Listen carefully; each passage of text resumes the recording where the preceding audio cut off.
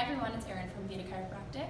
Uh, so for today's Mobility Monday, if you've been following along, we're continuing our running series.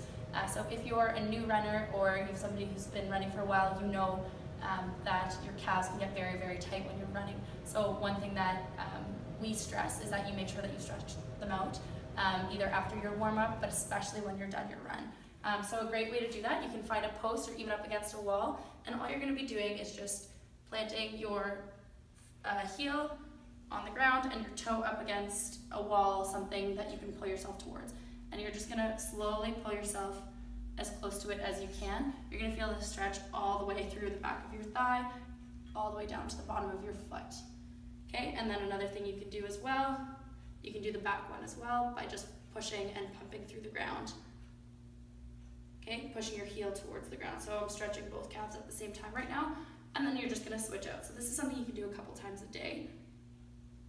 Okay, you're trying to get yourself as close as you can. Another really great thing to do is to ice as well as foam roll, um, but we're going to touch more on that next week. So thanks for stopping by. If you have questions, leave us a comment. Thanks.